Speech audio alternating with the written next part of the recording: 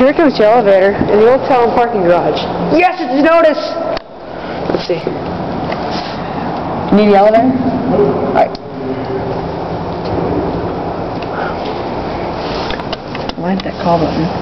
Fire service mode? Sounds like luxury bell. Here we are. You guys expect this favorite communicator. Attitude bell. There I am. Hi. Hydraulic elevator. Let's go up. Turn the alarm real quick. That's a sad excuse. Two.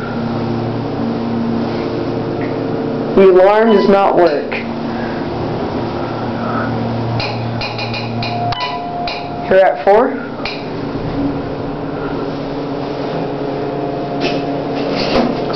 Slow door. Let's get a view up here. It's very windy. There's my mom down there waiting for the car. Let's get a view up here of the parking garage. There's a courtyard Marriott. See, let's get a view over downtown Wichita. Alright. Let's go get the elevator. Call it.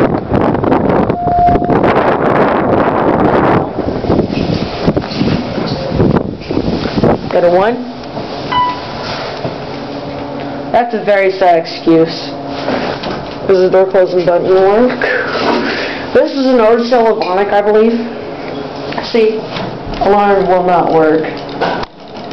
That's a very sad excuse for an alarm. So let's look out. Okay, let's look at the floor indicator. This floor indicator is huge because look at my hand. I have my hand up on top of it.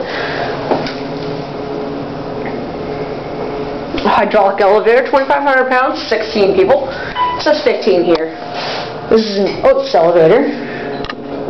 My first Elevonic, yeah. See? No alarm. Ah! Okay.